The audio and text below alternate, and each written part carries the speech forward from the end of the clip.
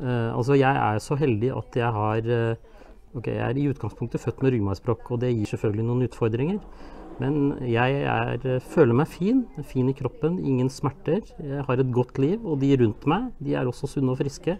Det er også viktig for at livet skal være godt. Mitt viktigste råd her er at livet må leves fullt og helt. Og hvis man trenger råd, har noen utfordringer, så får man spørre de som er eldre, som har erfaring, som har opplevd mye. Oddsene for å komme til verden er små. Så benytt sjansen.